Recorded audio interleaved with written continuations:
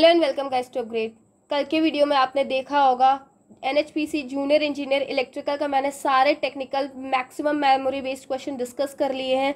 आज हम डिस्कस करेंगे यहाँ पर नॉन टेक्निकल क्वेश्चन जो एनएचपीसी के कल के एग्ज़ाम में आया था इलेक्ट्रिकल ब्रांच में। तो यहाँ पर maximum memory based question discuss करने की पूरी कोशिश की जाएगी। अगर आप इस चैनल पर पहली बार विज़िट कर रहे हैं तो चैनल को सब्सक्राइब करिएगा, इस वीडियो को लाइक ज़रूर करिएगा। पर क्वेश्चन डिस्कस करने के बाद यहाँ पर एनएचपीसी का एक्सपेक्टेड कट ऑफ़ देखेंगे, हर कैटेगरी का कितना जा सकता है तो वीडियो को लास्ट तक ज़रूर देखिएगा। तो बिना किसी देरी के आज का वीडियो शुरू करते हैं।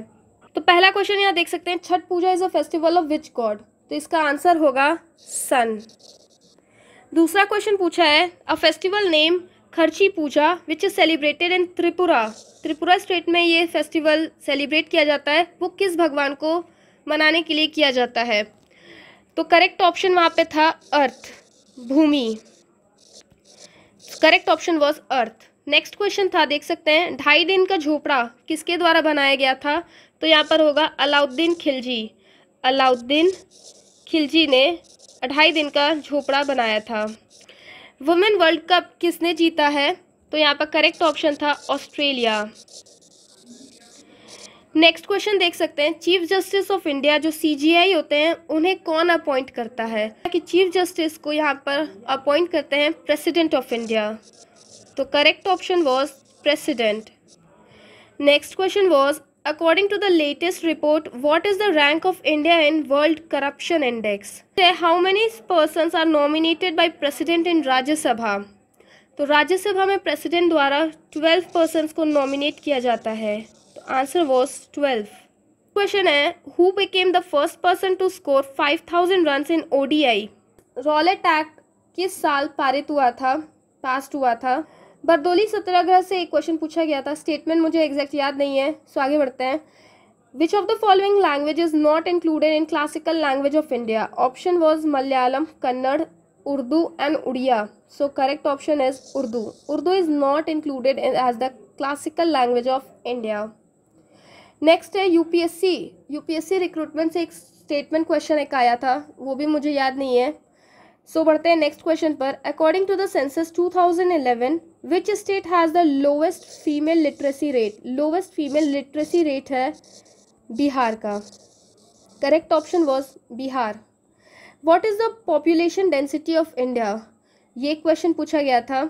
What is the name of the first moon mission of India so first moon mission India का था Chandrayaan one so correct option is Chandrayaan one sports person won the sports person of the year award ये question था in 2023 Mahavir Jayanti is celebrated in which month तो ये question था अप्रैल मई जून and जुलाई ये options दिए हुए थे।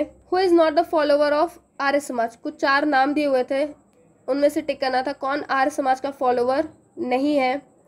Next which of the tree is not a tropical green tree अगर आपको अच्छे से ये क्वेश्चन याद है तो आप कमेंट सेक्शन में बताइएगा कि कौन सा ट्री पूछा था। शायद ट्रॉपिकल था, उष्णकटिबंधीय या कुछ और। What is the urban areas income per day in average form urban area का income per day average form में क्या था? एक ये क्वेश्चन पूछा गया था। Which book is written by Dalai Lama Dalai Lama के द्वारा कौन सी बुक लिखी गई थी? तो यहाँ पर लिखी गई थी freedom in exile. Freedom in exile. This was the correct option. Next है Sahitya Akademi award given in how many language या पीपल इन दिस ईयर यही शायद क्वेश्चन पूछा गया था। अगर आपको याद है तो कमेंट करिएगा ज़रूर। नेक्स्ट बढ़ते हैं। This year in this year which company got या release this share in the market as a micro finance bank prime minister Modi ने कौन सा स्कीम लॉन्च किया है for the internet service For the internet service, which scheme is launched by Prime Minister Modi? It is PM Vani. Correct option is PM Vani.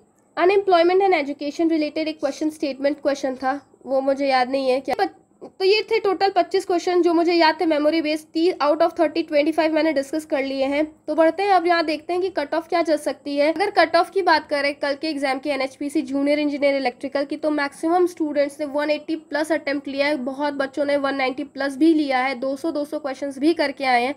तो कुछ कह नहीं सकते, लेकिन फिर भी कल का लेवल का जो एग्ज़ाम का क्वेश्चन था, उस हिसाब से अगर देखें तो जनरल की cut off according to my view ये मैं श्योर नहीं कह सकती हूँ। अकॉर्डिंग टू माई व्यू यहाँ पर जनरल की कट ऑफ़ 150 प्लस ही रहेगी। ओबीसी की बात करें तो 145 टू 150 कट ऑफ़ रहेगी। कैटेगरी का अगर देखें तो 135 टू 145 कट ऑफ़ हो सकती है। एससी कैंडिडेट के लिए भी 135 प्लस ही कट ऑफ़ रह सकती है। और एसटी कैंडिडेट के लिए 130 मार्क्स प्लस ही कट ऑफ़ मे भी एक्सपेक्ट कर रही हूँ कि ऐसा हो सकता है। यह एक्सपेक्टेड कट ऑफ़ है जो मुझे लगता है कि इतना हो सकता है। ये ना ही किसी सोर्स से मुझे पता चला है और ना ही किसी ने मुझे बताया है। सो so, अगर आपको ये वीडियो हेल्पफुल लगा तो इस वीडियो को लाइक करिएगा। ऐसे ही जॉब रिलेटेड अपडेट्स पाने के लिए सब्सक्राइब करें हमारे चैनल को। मैं मिलती हूँ आपसे नेक्स्ट वीडियो में। Till then take care and